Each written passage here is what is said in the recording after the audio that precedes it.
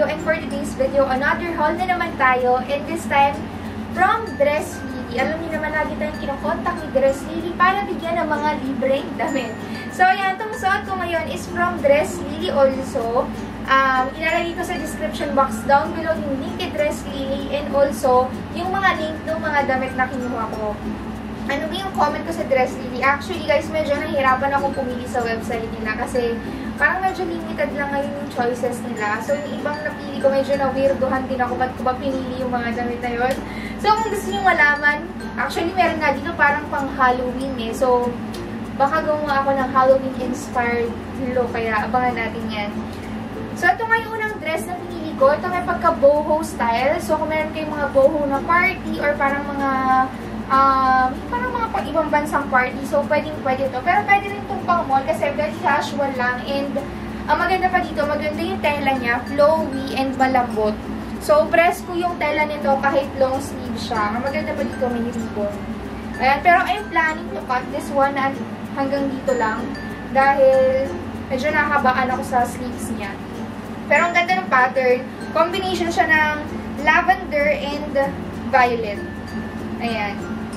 Tapos, button down siya. Tapos, may garter sa likod, kaya mag-fit sa'yo. Itong size na to ay small, pero I think pagkakasya to hanggang semi-large. This is the next dress, and this one, nung nasa website siya, sobrang... Eh, di ba? May nagko-comment dito sa gilid ko yung nanay ko nandito.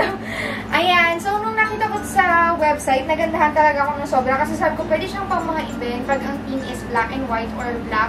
So, sobrang ganda niya. Pero sa personal, maganda din naman siya. Siguro, hindi ko lang siya masyadong na-appreciate dahil medyo maluwag siya sa upper body ko. Pero maganda yung pagka pagiging flowy niya and yung length, sobrang okay din sa akin. Tapos, ayan, may pa-sleeve siya, ganyan. So, ayan yung itsura ng sa likod. And then, ito yung pinaka-upper niya. So, ito, sobrang nagustuhan ko tong part na to. Ayan, sobrang gusto-gusto ko tong part na to. So, medyo maluwag lang siya. Ayan. So, pwede ito sa mga event ka na black and white ang theme or parang mga Halloween party na Ayan, pwede nyo gamitin itong dress na to sa ganun. So, this is the next dress. Actually, guys, sobrang na-weirdohan talaga ako sa itsura niya. And hindi ako pwedeng gumalaw kasi makikita na yung underwear ko dito. And, yung tela niya, medyo cheap yung tela niya pag hinawakan mo. So, yun yung problema ko kay Dress Lily. Combination siya ng maganda at hindi. And, ang hirap talaga mamili sa website nila. Kasi medyo limited yung collection nila. So, ayan yung pinaka-details niya. So, gitali-tali siya. Siguro maganda to pag ano, yung maili ka sa sexing damit. Pero kasi ako hindi ako ganun ka-sexing manamit. Kaya, hindi ko to masyadong bet. Sa model, sa website, maganda siyang tingnan. Pero nung sa actual kasi, sa model, hanggang dito yung tali. At nung nandito na sa mismong tapat ng ano mo, kaya medyo lilitaw ang hindi dapat lumitaw. Ayan siya. So, it's a big no-no for me. Hindi ko talaga nagustuhan tong isa na to. So, this is the next dress. Alam niyo guys, hindi ko talaga alam bakit ko to kinuha. Siguro habang tinitignan ko yung website nila, inisip ko, ay, ang cute naman, parang Darna, parang Wonder Woman. So, nung time kasi niya, parang pinag-uusapan ko sino yung bagong Darna natin, no? So, ito siya. Hindi ko talaga alam kung saan ko magagamit yung dress na to. Siguro nga, gagawa na lang ako ng parang pang mga party na dress party. Pwede nga ito. Nagko-comment yung aking mother. Ayan. So, gawa kaya tayo ng ano, no, Wonder Woman look. So, meron na tayong outfit agad. So, yung pag naghahanap pala kayo ng mga pang-costume, tsaka mga pang-Halloween na damit, doon, marami talaga sa dress Mas marami yung mga ganun nilang collection kesa sa medyo casual na damit.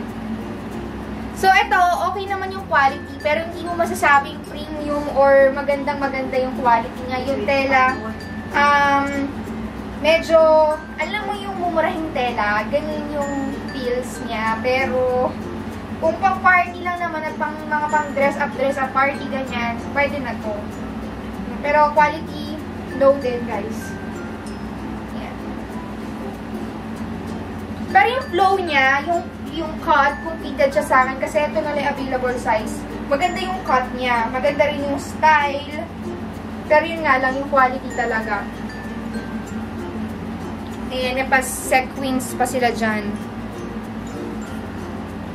Actually, akala ko talaga sa website, maganda siya sa akin kasi sa yung model naman, wala rin dibdib, ganyan, flat-chested din. Tapos, suot niya to. Ang ganda-ganda tingnan. Kasi gusto ko yung ganito na parang mermaid yung look niya. Sobrang nag tagal ko na naghahanap ng ganito.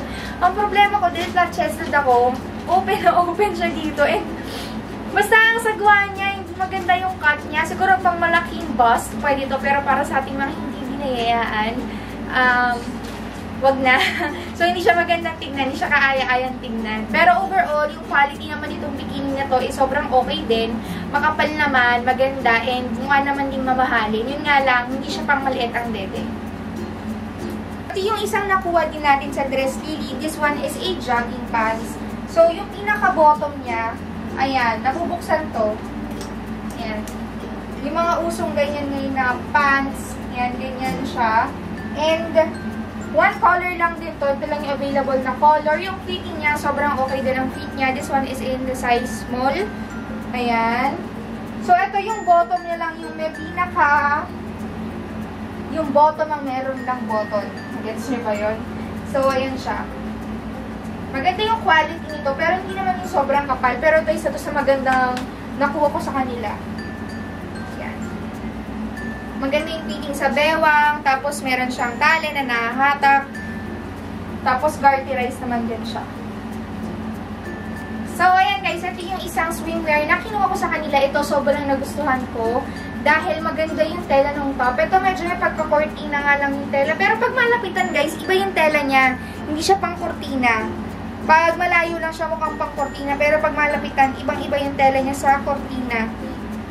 So, sobrang nagustuhan ko to kasi pag gusto mong umaura pero ayaw mag-bikini talaga, sobrang okay ito. And yung quality ng top, sobrang ganda ng top, ang ganda ng tela, ang ganda ng style, ang ganda ng fitting. So, ayan siya. Ganda na to. Bet na bet ko to. Gusto ko yung mga gantong swimwear. Yan, naganda rin ng color. Pero one color lang yung available. Yung last item na kinuha ko sa dress Lily, dahil wala na talaga akong mapili para sa sarili ko, kinuhanan ko na lang yung ate ko ng dress. Kasi sa mga website abroad, napansin ko marami silang plus size. Ay, yung ate ko sa plus size siya bumibili parate. So, this one is, hindi ko alam kung XL or 2XL yung kinuha ko. Ganyan lang siya na dress. Ayan. Tapos, ipapatong mo lang tong parang crop top na t-shirt. Ayan. Para siya nakaganyan. Ayan. So, if you're looking for plus size na dress, eh, sobrang dami sa dress really. Mas marami silang plus size kesa sa mga petite size kagaya ko.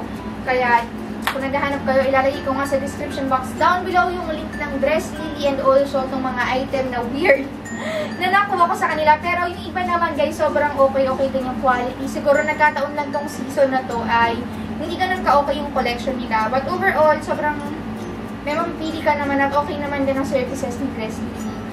Nagustuhan nyo itong ating try-on video, please give this video a big thumbs up and don't forget to subscribe. Bye! Maraming salamat!